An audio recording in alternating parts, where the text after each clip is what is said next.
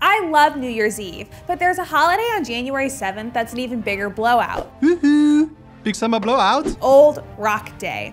You heard right, there's an entire holiday dedicated to celebrating these magnificent mineral masses. You could commemorate Old Rock Day by listening to old rock music, maybe the Stones?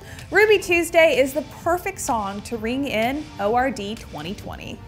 And speaking of rings, ring that bell. That'll keep you notified about all of our new videos. Looking for another way to celebrate? You could build a rock garden, skip stones across a pond, or build a stone pyramid and pretend it's receiving messages from Saturn.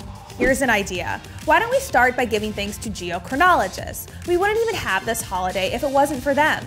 Geochronology is the science of dating rocks and fossils. Planet Earth is just a squeak over 4.5 billion years old. The oldest known zircon crystals are 4 billion years old, the oldest minerals dated so far. To put zircon's age in perspective, the supercontinent Pangaea broke up only around 175 million years ago. So this beauty is an oldster for sure. Zircon sources include Sri Lanka, Vietnam, Australia, Brazil, Korea, and Nigeria, basically every continent in the world. Zircon is also December's birthstone, and now you have some cool facts at your disposal the next time your friends confuse zircon with cubic zirconia.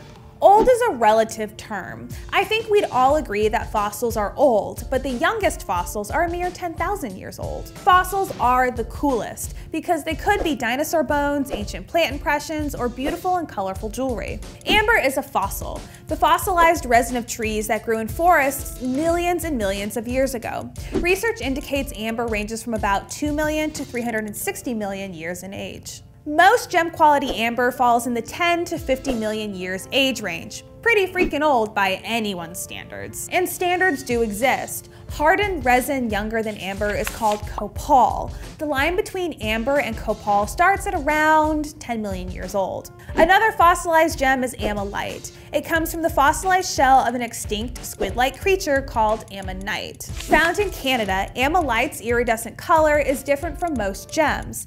Typically, these colors come from manners of light activity. Ammolite's iridescent color is caused by interference with the light trapped within stacked layers of thin platelets that make up the fossilized shell. Oh, what? This old rock? Thanks. The colors are because of trapped light. Usually the layer of ammolite is very thin, so most ammolite you see in jewelry is made into doublets or triplets. This protects the gem. As for the actual oldest rocks on Earth, drumroll please, it's debated! Research is updated all the time, and there are samples all over the world to date. One contender is the Nuvvuagittuq Greenstone Belt on the eastern shore of the Hudson Bay in Quebec, Canada. The dating controversy is due to zircons. Geochronologists use different methods to date rocks, and, well, long story short, different methods returned different results, but it supposedly clocks in around 3.8 to 4.2 billion years old. How are you going to celebrate Old Rock Day? Let me know in the comments, and to learn more about zircon, amber, and ammolite, check out the links below. Thanks for watching!